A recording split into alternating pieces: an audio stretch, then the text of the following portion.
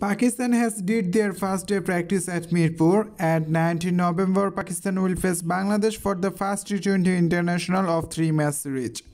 Pakistan knockout from the tournament for catch miss. That's why today they had emphasized on fielding practice. Pakistani wicketkeeper batsman Mohammad Rizwan didn't join with the team today. He is taking rest in the hotel.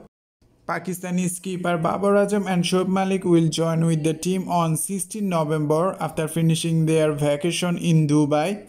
Pakistan will play three-match T20 international series in Mirpur against Bangladesh and two-match test series. First test will held in Chattogram and the last one will held in Mirpur.